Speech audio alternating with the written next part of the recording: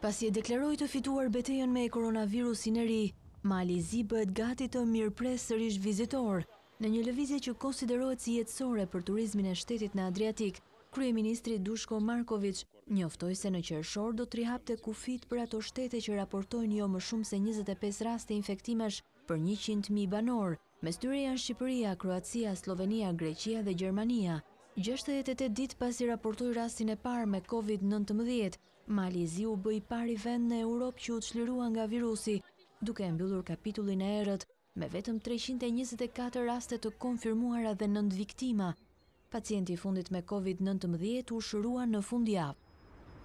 Gjashtëdhjetë e tetë ditë pas rastit të parë me koronavirus në Malin e Zi, nuk ka më të infektuar.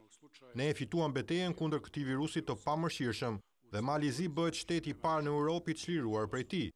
Suksesi duhet ndarë mes shtetit, institucioneve të tij dhe çdo individi në vend.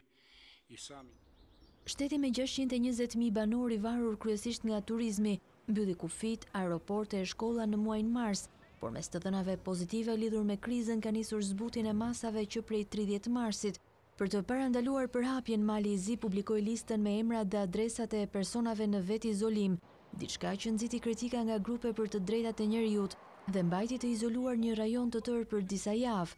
Gjithashtu Republika Çeke hapi të martën kufijtë me Austrinë dhe Gjermaninë, edhe pse turizmi i huaj mbetet i kufizuar. Udhëtarët duhet të tregojnë provat se nuk janë të prekur nga Covid nëntëmbëdhjetë, në të kundërtën do të përballen me dy javë karantinim. Nga e mërkura do të lejohen kalimet edhe me Sllovakinë, por vizitorët nga secila anë e kufirit do duhet të kthehen brenda dyzet e tetë orësh.